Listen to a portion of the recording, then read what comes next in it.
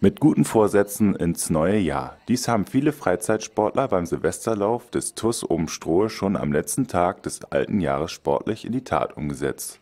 Bereits zum vierten Mal konnte Vorstandsmitglied Frank Bruken 200 Läuferinnen und Läufer auf dem Sportplatz an der Plagenkrugstraße begrüßen. Bei diesem offenen Freizeitlauf konnte jedermann mitmachen. Hier ging es nicht um Bestleistungen, sondern um das gesundheitliche sportliche Vergnügen. Je nach eigener Motivation konnte eine 5 oder eine 10 Kilometer lange Strecke absolviert werden. Als Trophäe konnten alle vorab gemeldeten Teilnehmer ein Finisher-T-Shirt mit ins neue Jahr nehmen